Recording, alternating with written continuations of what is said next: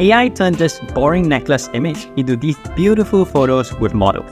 We just upgraded Pebblely so they can generate human models for necklace.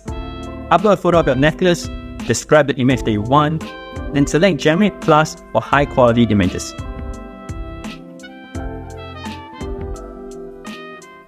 Quick disclaimer, not every photo will turn out to be good, but it's so much easier than doing actual photoshoot with models.